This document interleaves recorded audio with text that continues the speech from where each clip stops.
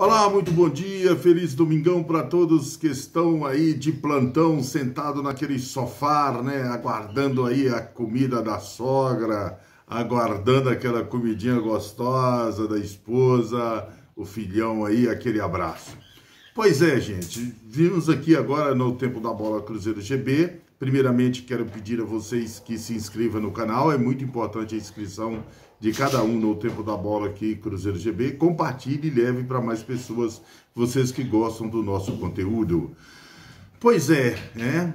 É, hoje é um dia muito especial, né? É um dia em que vamos desejar aqui o Tempo da Bola Cruzeiro GB, vida longa ao rei, ao maior de todos, Pelé, né? Pelé que completa 82 anos de idade hoje, é este que é, atravessou fronteiras, este que fez o Brasil ser o primeiro campeão do mundo de seleções. Em 1958, graças ao seu futebol, né, a sua qualidade, a sua espetacularidade, né, peculiaridade, vamos dizer assim, que ele fez dentro do futebol, nós conseguimos alcançar em 1958 o primeiro título da seleção brasileira. Em 1962, Pelé teve uma contusão e o protagonista desta conquista foi o Mané Garrincha, né, que está marcado eternamente para todos os brasileiros.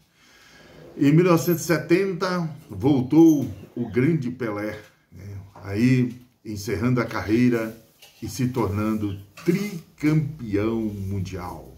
Pelé tricampeão mundial em 1970. 1.230 e tantos gols na carreira. Jogou, é, foi, jogou do Santos Futebol Clube, é, depois final de carreira no, em Nova York, mas foi realmente um espetáculo. Pelé continua lúcido, gente, apesar de ter passado por cirurgia, é, resolvendo um problema do, de câncer, né? ter, ter, ter é, colocado prótese, prótese né? É, na, nos quadris, e, mas está aí, lúcido.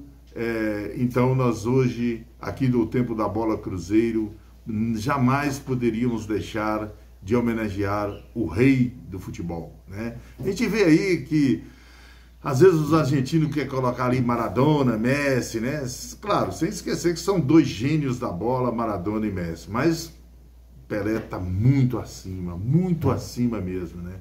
De jogadores, né? Como disse vários outros aí, depois vem as outras prateleiras do futebol, vem Joãozinho, vem Diceu Lopes, vem Reinaldo do Atlético, vem Zico, Ronaldo Fenômeno, é Romário, é, o próprio Diego Maradona, Messi, Cristiano Ronaldo, tantos que fizeram e que com sua genialidade mostraram aí e mostraram muitas, muito futebol aos torcedores especificamente de seus não, não poderíamos deixar também de esquecer de Ademir da Guia, né? De tantos craques que o futebol brasileiro produziu, o futebol mundial produziu, né? na escala mundial, né? Romenig, Beckenbauer e tantos outros grandes craques aí que marcaram o seu tempo, mas nunca chegando assim pertinho do rei, porque o rei é, será eternamente rei,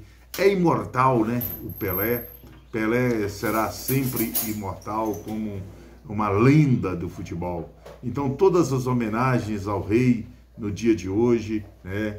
É, tem muitas pessoas, né? Não tem nada a ver com vida particular de ninguém, que pode escolher fulano ou beltrano, que pode tomar suas atitudes.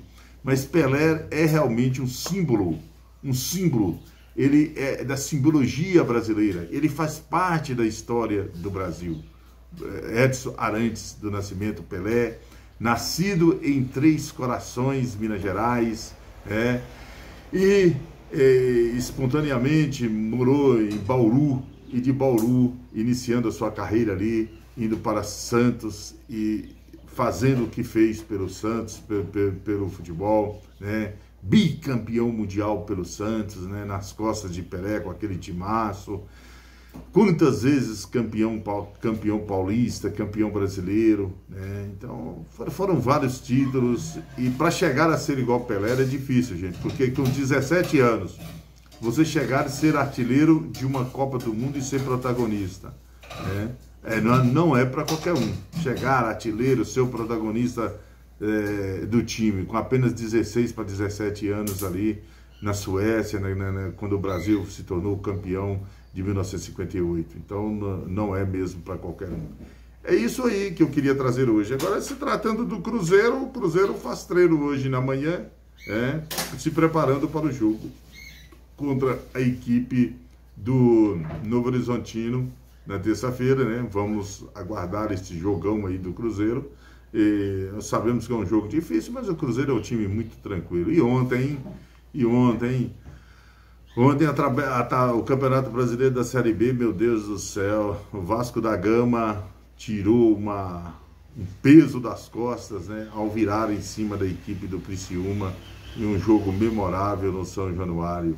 A torcida do Vasco estava engasgada e eufórica, né?